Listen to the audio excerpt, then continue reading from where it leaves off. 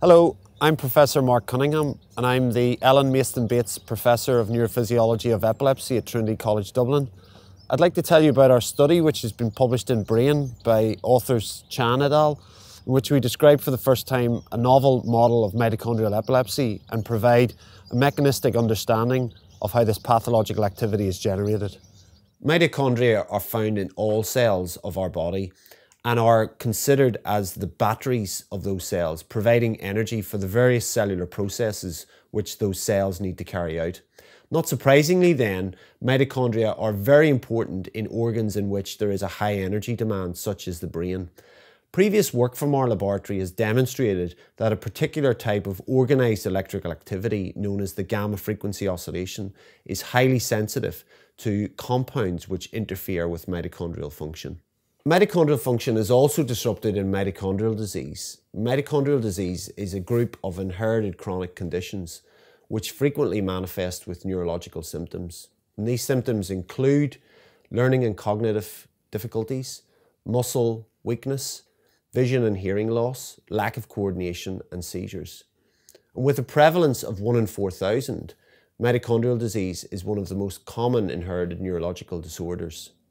A quarter of patients with mitochondrial disease suffer from epilepsy, and this epilepsy is frequently resistant to treatment with anti-epileptic drugs and also associated with a poor prognosis. And despite these epileptic phenotypes being well characterized in patients, an understanding of mitochondrial epilepsy from a preclinical point of view has been limited due to an absence of good preclinical animal models.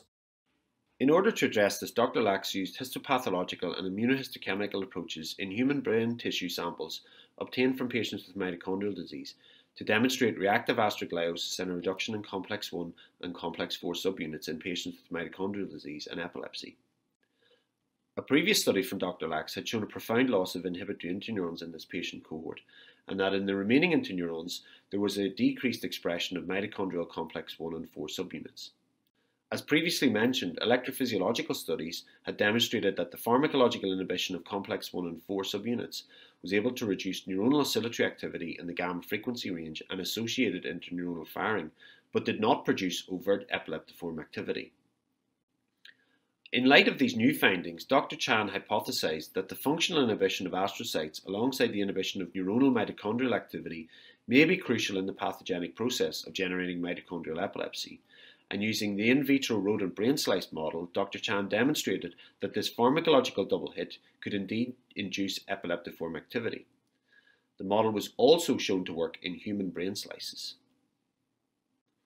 Using immunocytochemistry, Dr. Chan also demonstrated that slices which had been exposed to the double hit had a reduced density of GABAergic cells and exhibited astrogliosis, findings which matched observations made in human postmortem material. Evaluating the clinical relevance of animal models is critical for epilepsy research, and as mentioned earlier, mitochondrial epilepsy is frequently refractory.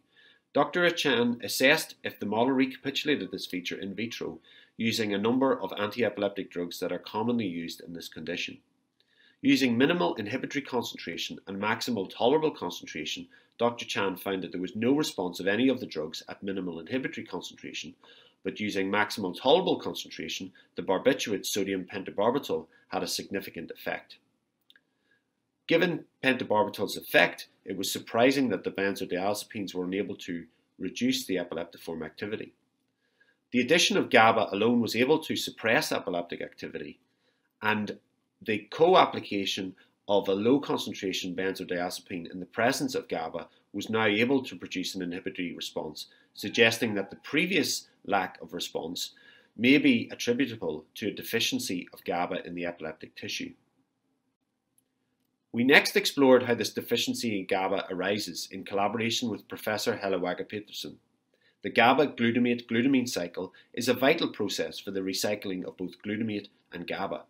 And using high performance liquid chromatography, we measured glutamate and glutamine in the epileptic and non epileptic slices and revealed significant reductions of glutamine in the epileptic samples.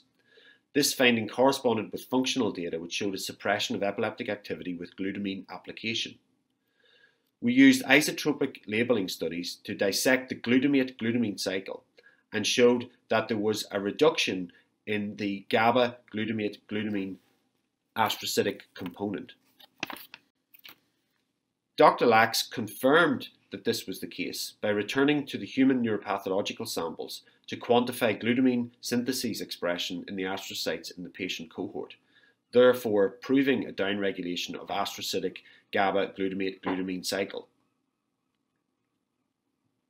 So, in summary, we can propose the following mechanism with regard to mitochondrial epilepsy. The mitochondrial dysfunction in the neuronal compartment leads to a downregulation on, of inhibitory tone. And alongside this, in the astrocytic compartment, we have a failure of the glutamate, glutamine cycle, which leads to a loss of glutamine and a complete shutdown of astrocytic metabolism, which leads to reduced recycling of GABA, and together with a loss of inhibition in the neuronal compartment, this leads to a state of hyperexcitability and ultimately to seizure generation.